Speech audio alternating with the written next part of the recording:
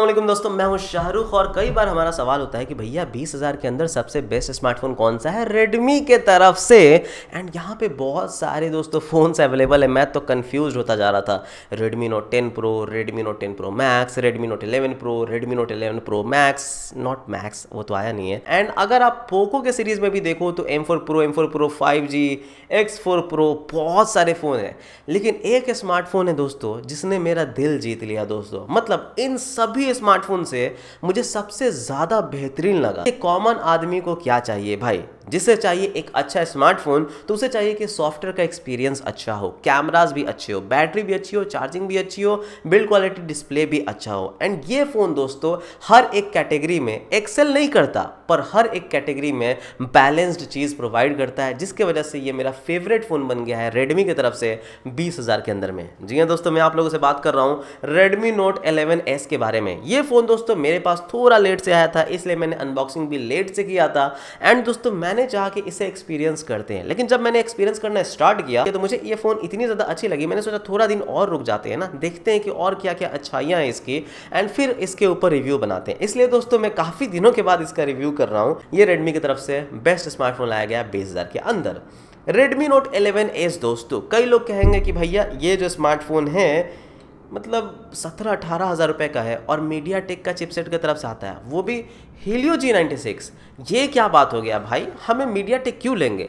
But दोस्तों surprisingly दोस्तों, बीस हज़ार के अंदर मैंने तीन ऐसे चिपसेट्स या चार ऐसे चिपसेट इस्तेमाल किए हैं जो कि इससे ज़्यादा बेहतर परफॉर्म नहीं कर पाते। यानी कि ये उन चारों चिपसेट से ज़्यादा अच्छा परफॉर्म कर रहा है। तो सबसे पहले दोस्तों मीडिया टेक का ही अपना डेमेंसिटी 810 उससे भी अच्छा परफॉर्मेंस ये दे रहा है। या फिर स्नैपड्रैगन का 695 5G प्रोसेसर जी हाँ दोस्तों, उससे भी अच्छा परफॉर्मेंस ये दे रहा है। अब देखो ऑन द पेपर या फिर अन टू टू स्कोर में आई नो कि वो दोनों परफॉर्मेंस वाले प्रोसेसर है थोड़े से दोस्तों, जिसकी वजह से ऑन द पेपर दोस्तों वो जीत जाते हैं, या बेंच में वो जीत जाते हैं इससे। And MediaTek Helio G ninety six कई लोगों को लगता है, यार, बारह नैनोमीटर का है, उतना अच्छा परफॉर्म नहीं कर पाएगा।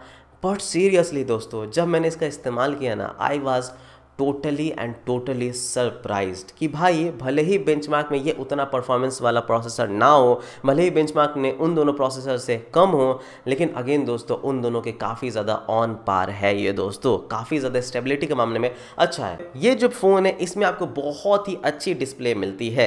अब मैंने यहाँ पर परफॉर्मेंस की बात की ना मीडिया टेक हीलियो जी अब भाई जी के साथ एक सौ का रिफ्रेश रेट दे दो, कितना वो हैंडल कर पाएगा। लेकिन इसमें एक बात अच्छी रखी गई है कि इसमें आपको नाइन्टी हर्ट्स का रिफ्रेश रेट वाला सुपर एमलेट स्क्रीन मिलता है। And G ninety six really में बहुत ही अच्छे से हैंडल करता है, जिसकी वजह से बहुत ही स्मूदर डिस्प्ले लगता है, जिसकी वजह से यूआई भी काफ़ी ज़्यादा स्मूथ लगने लगती है, जो कि सॉफ्टवेयर के मामले में मैं आपको बता दूँ। सुपर एमलेट का स्क्रीन है, अच्छी ब्राइटनेस है दोस्तों क्वाइट दोस्तों आप जा करके सनलाइट वगैरह में भी देखो तो आप इसे देख सकते हो। हैंडी फ़ोन है दोस्तों यहाँ पे 6.43 इंचेस का डिस्प्ले है, जिसकी वजह से आप इसे एक हाथ से भी इजीली यूज़ कर सकते हो।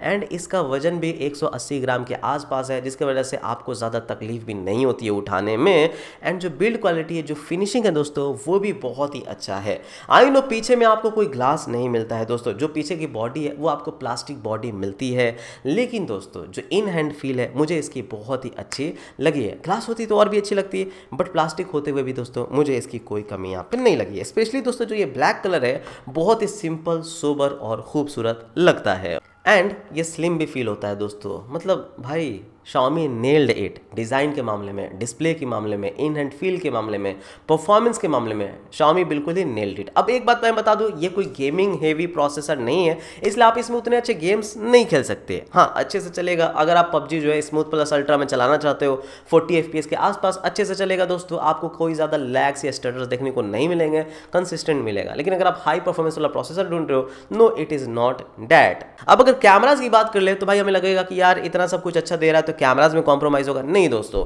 108 मेगापिक्सल का इन्होंने इसमें कैमरा डाल दिया। अब देखो 108 मेगापिक्सल काफ़ी सारे फ़ोन में मिलते हैं। मैंने सब में टेस्ट किया है।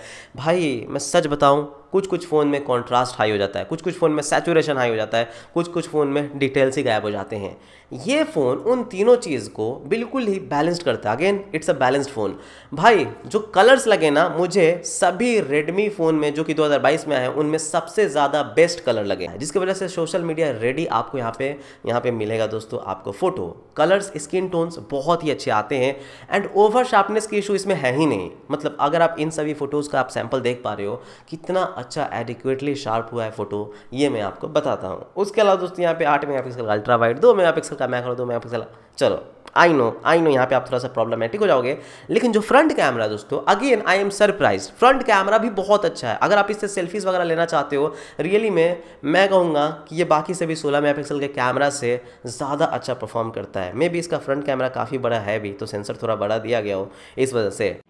है दोस्तों, ये जो वीडियो है मैं Redmi Note 11s के बैक कैमरा से 1080p 30 fps में रिकॉर्ड कर रहा हूँ और आप देख सकते हैं कि मेरी जो क्वालिटी है वो काफ़ी अच्छी आ रही है। लेकिन हाँ 4K 30 fps या 1080p 60 fps नहीं मिलता है बट यस स्टेबलाइजेशन काफ़ी अच्छे से काम करता है। और अभी मैं इनडोर में आ गया हूँ एंड आप एक चीज़ नोटिस करेंगे कि इसकी क्वालिटी इनडोर में भी अच्छी है। तो जी हाँ रेडमी नोट एलेवन में काफ़ी रियली में दोस्तों गुड कैमरा दिया गया है, बहुत ही एक्सेलेंट कैमरा दिया गया है, ये बात तो हमें माननी पड़ेगी। है दोस्तों, ये जो वीडियो है मैं रिकॉर्ड कर रहा हूँ Redmi Note 11s के फ्रंट कैमरा से और क्वालिटी मुझे सच में रियली में काफ़ी ज़्यादा अच्छी लगी है। धूप मेरे पीछे है, फिर भी मैं बहुत ही अच्छे से दोस्तों यहाँ पे ब्राइट दिख रहा हूँ।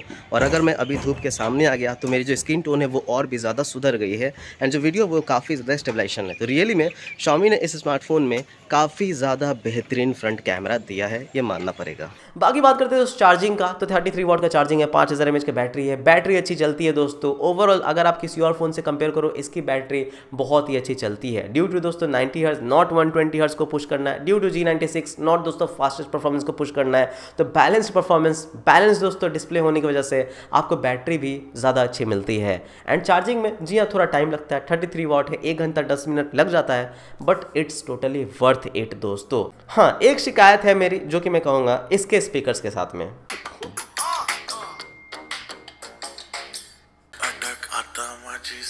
सटक सटक सो so, स्पीकर से ये शिकायत है दोस्तों कि स्टीरियो तो दिया गया लेकिन ऊपर वाला ज़्यादा लाउड नहीं है। मतलब अच्छी खासी लाउड है बट नॉट द बेस्ट बराबर नहीं है दोस्तों। नीचे का ज़्यादा लाउड हमें लगता है। एंड ओवरऑल जो दोनों स्पीकर का मिला करके भी लाउडनेस है वो उतना ज़्यादा खास नहीं है। एक और चीज़ डॉल भी नहीं मिलता है हाई फाई नहीं मिलता है जिसकी वजह से अगर आप ईयरफोन में भी साउंड सुन रहे हो तो जितना शामी के बाकी सभी फ़ोन में इस प्राइस रेंज में आपको ऑडियो क्वालिटी एक्सपीरियंस होता है उतना अच्छा नहीं होता।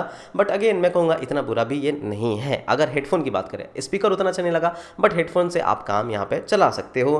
तो यहाँ पे अगर इसमें स्पीकर और हेडफोन अच्छा रहता ना, मैं क्या देता बीस हज़ार के अंदर इसके अलावा कोई फ़ोन ही मत लो। रियली में ये ये दोस्तों बस एक कमी लगी मुझे इसकी। बाकी दोस्तों वाइब्रेशन मोटर अच्छी है, लेकिन हाँ यहाँ पे वाइब्रेशन मोटर का इंप्लीमेंटेशन उतना अच्छा नहीं किया गया है। या फिर मैं कहूँगा, चलो ठीक है मतलब एबव एवरेज वाइब्रेशन मोटर मिलता है नॉट द बेस्ट चलो अच्छा मिलता है यहाँ पे। एंड उसके अलावा आपको यहाँ पे आयर ब्लास्टर मिल ही जाता है साइड माउंटेड फिंगरप्रिंट सेंसर मिल जाता है, जो कि काफ़ी ज़्यादा अच्छा है दोस्तों यहाँ पे। एंड एम आई वाई का एक्सपीरियंस आपको इसमें काफ़ी डिफरेंट मिलता है। जैसा मैंने बताया ना सॉफ्टवेयर के मामले में, इसमें लाइट एम आई वाई रखा गया है, लेकिन एनिमेशन में कोई कमी नहीं की गई है। आपको अच्छे एनिमेशन देखने को मिल जाते हैं।